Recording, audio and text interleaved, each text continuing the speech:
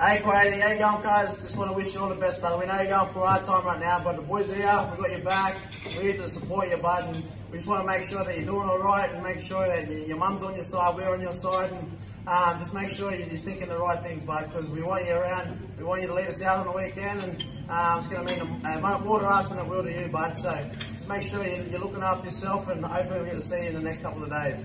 Yeah, brother. Yeah.